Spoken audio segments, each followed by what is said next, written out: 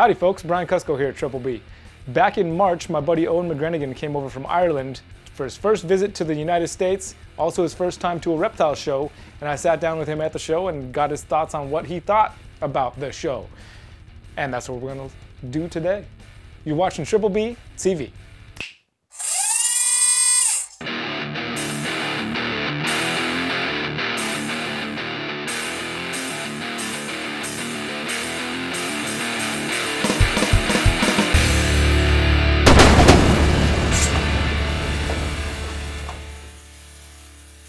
Guys have retics over in Ireland? Um, some people do have. Some people retics. do. Some people do have retics. Um, ball pythons are kind of.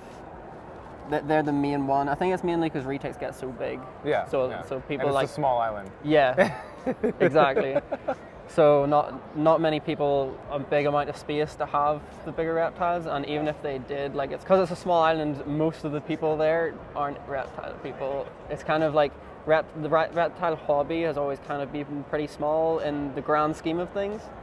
Um, obviously, over here there's loads of people that are into reptiles, but I think that's also a population thing because America's so big, you can have big, massive shows like this. Whereas because there's only a, like a, a few select people in Ireland that, in saying that, are really into their reptiles, they they do breed and stuff. Although there's not very many, it means we don't have shows anywhere near this scale. We only have like one show in the south that's only started three years. It's called, um, I think it's literally called Ireland Reptile Expo or Ireland Expo. And that was the one down in Waterford? Is- Yes, it's down in Waterford, and um, That's just south of Dublin? Or? Yes, yes. It, it's a little further south from Dublin, and it's running. I think it runs on in a either June or July, and it happens once a year. So it's not even like a, a quarterly thing or like a like half a year. It's like once a year, and it's only been th- like three years going. So it's still still getting to grips with things. As, as from what I've heard, I haven't been to it myself yet. Um, I plan on going to see it and obviously see Because on the other side of the country from you, right? yeah, yeah. In saying that, the country's pretty small. I can go to, like I can I can drive down. I plan just driving down and staying over for it because it's like a it's a day thing, but I want to spend the whole day there and then just sleep and drive back up. So I'm not doing like the 12 hours in total of driving. But being here has like really opened my eyes to how how many people are like into the reptiles and everything and. You're, you're going to move over here now. I want to move over here now. Definitely, I want to move over here. And I think it's, I find it really cool how how many people are so positive about it over here as well. Like, if you were to say you wanted to get into like breeding reptiles or something back home, a lot of them would be like, "Don't do it." Straight away, it's like you're going to lose all your money. Don't do it. Don't try it. Like, if if it's a hobby, then that's fine, but don't try to do what you enjoy for a for a living sort of thing. It's like you won't you won't get anything out of it. But here it's like, yeah, we're just you are all doing it. You know, you are all obviously you have losses. You're gonna have losses and you're gonna have I think there's a lot of people here that are doing it that are not necessarily. I mean, don't get me wrong. There's there are Yeah, plenty yeah. of people breeding snakes uh, as a as a first job as a Yeah, living. yeah, yeah. But I think there are many people that that do it on a level where you would think they were doing it as a, as a job, but they do have day jobs a lot of the time. Yeah. I, think, I, I don't think there's as much money in being. I don't know. I, I can't. I'm speaking. I know. I'm speaking from personal experience here. Yeah. that there's not you're going to end up spending more money than you think you are and Yeah. you're not going to So- make as much money as you think you are Yeah, I know that for a fact. Like I know that there, because as obviously your business builds, the overhead costs build too. Like it's always a thing, and then it's uh, it's always like a luck game too. yeah with, with morphs and everything. Like, but it's been a great experience coming over here and just seeing the different variety of animals that you guys have, and you know, getting to meet everyone. Like, everyone's been so friendly. Freedom Breeder, so friendly. Um, you so friendly. you know, like have my everyone's moments. everyone's kind of. I, I, don't know. Everyone's kind of welcomed me with like really quickly, and um, there wasn't really any issues with me hanging out with you guys or anything. You know what I mean? Like it was very, very quick. kind of like Let's you and this snake right now Let's not. developing a real quick relationship Yeah, she's a beautiful snake she is. she's, gen- she's gentle for some reason uh, cow retics seem to maybe it's because they're more um, bred into captivity as far as the generations go Yeah. um, but they're they seem to have most cow retics re, most cow retics by nature seem to have a, a more docile nature than Yeah. just by just by nature. Huh? Aren't you just a big I've. I've never handled a snake this big as either, so this is a, a whole experience for me too. But it's so awesome. So we got 3 They're firsts. so- we got three. We got triple firsts for you. There we got. we Yeah. got First time in, in the states. First time at a reptile show. First time holding a snake this big. Yeah. All right. That's a win-win-win. Yep. So how, Great. how would you say the show is different? Like, what did you expect versus what has happened? Um, I didn't know how big the show was going to be, simply because obviously, like I've seen, I've, although I haven't been to the show down south, I've seen videos of it and it's tiny, like it's really small. So I didn't know whether the, the show was going to be like in a really massive building or if it was just going to be like a small building, but everyone's like running around everywhere. Everything's high, like really fast paced and everything. This is, it's big. It, it, is, it is a big show. There was a lot, like when I first walked in, like and seen the inside of the building, I thought like it didn't look that big. But whenever you actually see the amount of animals and the amount of vendors in the place, it's like there's a lot to see. Like they're all they're all in enough space to actually like show everything that they want to show. Were you able to see the entire show? Were you able to stop at every booth and see? Yeah, I- I, really. I, yeah, I walked around a few times because I walked around um, once on obviously the, the setup day. So I seen what was out on the setup day.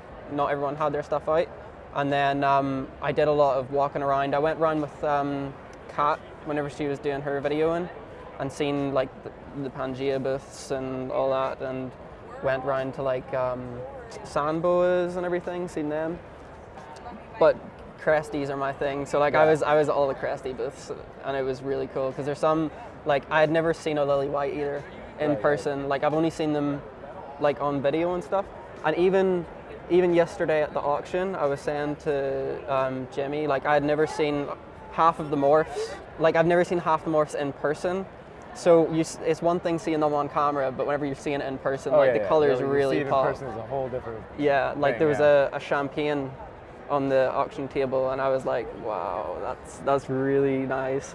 but I'd never seen a champagne in person. Like on video, I've I've kind of thought it just looked kind of like caramelly colored, and I was kind of like this, like it looks all right. But whenever you're actually looking at it, in, at it in person and see like it popping out, it's really cool. It's really cool to see. Well, I've been I've been stoked to have you over here, dude. It's been. It's oh, been it's been great. like- it's been great being here. It has been fun. I, I need it just gives me a little reminder because I, as I mentioned to you before that Ireland was my favorite. One of the little trip we went on and went to visit a lot of different countries. Ireland was my favorite because of the people. And Yeah. how warm of a people that. Uh, what, what do you what do you? And this is definitely not snake related. What but what do you attribute that to? Like the is there anything that you could, as far as uh, just Um, Ireland being such a, a wonderful place for for people for being such a warm people. Of, as a country, like, is it because of so many, so much, all the wars that happened recently? think- is it uh, you know, I- in I recent history, like having all I think that a, stuff. a lot of it comes from our tradition of being storytellers. So like we were always known, like back before all the, the wars and everything, like back whenever, even probably before like the whole, the whole St. Patrick brought Christianity thing, like we were we were into like all our pagan stories, so like fairies and like leprechauns and all, they were all there, and they were all stories that would be told to people that came to the country and just through family and stuff. So I think it's just that love for storytelling and kind of like welcoming people into the country and kind of I think it's because it's such a tight knit community too. Only instead of being a community that would be like kind of clicky where they wouldn't let others in, it's like because you're from outside, we want to know more about that person as well. So instead of like being like, oh, they're they're not from here, we're like, come on in, have a seat, tell me about it. you know what I mean? A lot of the people are, are really friendly. Like I've I've been to another county, but it was like in the middle of nowhere. I was on like a, a, mountain a mountain pass, and there was just an, an old man about I don't know, maybe in his 60s or something, just sitting in his car at a viewpoint listening to like traditional Irish music. And he got out of his car and started chatting to me, like as we were like in the middle of nowhere. He's just like, hey, how you going? Like, what are you doing? I don't know, we're, it's a strange people. we're Well, strange I, people. I like it. I like it. I find that coming here I got a very warm welcome as like too though. It wasn't like I was super ner- like anxious coming here as well though, because obviously I had never been to America. I had never been to Reptile Expo, so I didn't know what to expect.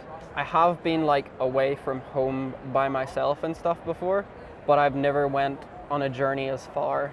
Like I've never had to get like three flights, one after the other, to get somewhere. So I was like, will all my flights get there and everything? I was like really worried about that. Well, luckily, luckily you came to a reptile expo where we, are, we have something in common with everybody versus like Yeah. just going to downtown LA and trying to have your first little Am- US yeah, experience. Yeah, yeah, definitely. No, the reason I came is because I'd seen you guys at it, and it looked like a really nice expo, and I wanted to see animals and meet people that liked the same things I did, and kind of network a bit while also seeing cool things. Unfortunately, I can't buy anything, but. That's you know, right. it's still it's I'm still nice. anything it's either, still nice to look. It's still nice to look It is nice. because you see things that like we don't have Yeah. and it also kind of it gives you an idea of where things are going over here I got it. I got it. She'll come over this way. it gives you an idea of like what different breeders are trying to achieve with their lines and things like people going more into like tricolor cresties and like although lily whites were like in the uk like they were they were made by Lilly Exotics um, i hadn't seen any in ireland like I, I'd, had, I'd never seen the only the only like cresties I had seen in Ireland um, from like stores, not really from breeders, but they've all just been like mixed more for harlequins and things like that. So the lily white was like really nice to see in person because it was just it, it was kind of shocking how like white it was. You know what I mean? Like Right, it right, really right. does pop. But I really like the the pattern on this guy. Like I, I think it looks kind of like digital almost. It's it's kind of like, Yeah, you're right. yeah. It is very much like that. Yeah, she's. but she's they move so slow and calmly. It's really, it's really cool to watch. Yeah, pythons definitely have that slow kind of, you know, when they're not when they're just checking stuff out, they're a bit slow. Yeah. Not, not like a colubrid. It's kind of like dart, dart, dart. Yeah. slowly. But well, hey, it's been it's been great to have you here, man. It's it's I, been great to be here. I look forward to being able to come visit you over there sometime, maybe. Yeah, Maybe I'll do some footage of that Waterford show and see what it's all about. Yeah, de- definitely. That would be really fun. Yeah. I'd also like to visit your collection and stuff. Yeah, dude. Yeah. Well, you you you need next time you come back, you gotta come up to where we're at, and we'll make a Yeah. little longer trip out of it. Go check some other that would stuff be so out. awesome. Yeah, man.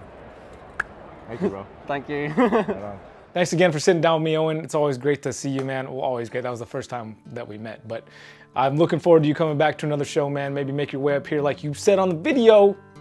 You said it. Don't. Yeah, you said that. Next week, we're gonna be taking you back to Herpeton with a discussion from Mike Reedy uh, about tree frogs, uh, specific species. I don't remember the exact one off the top of my head, but you can go watch it next week and find out exactly what it is. Until then, you've been watching Triple B TV. Y'all take care.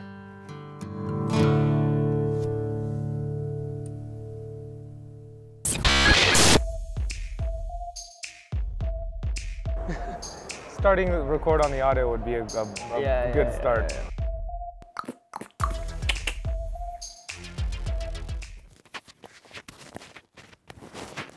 No bloopers today.